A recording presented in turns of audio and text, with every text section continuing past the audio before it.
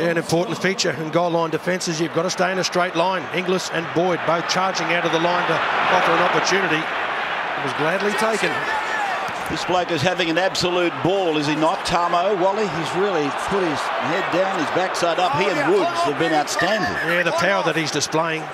This time being called off. New South Wales questioning the tackle. Being slammed into the ground.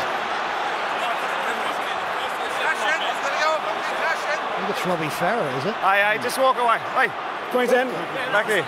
Cameron, take him back, please. He's dropped it. Take him back. Yeah, I think it's Robbie Farah. Yes, it is. Yeah. There it is on the replay. It's just been obscured from our natural view, but the replay telling us it's the number nine, the captain. It looks like he squeezed his left shoulder there. Came down pretty hard on it. Oh, his head hits the ground hard too. Hodges and Thaiday, the defenders. Tackle two. Okay. Tackle two.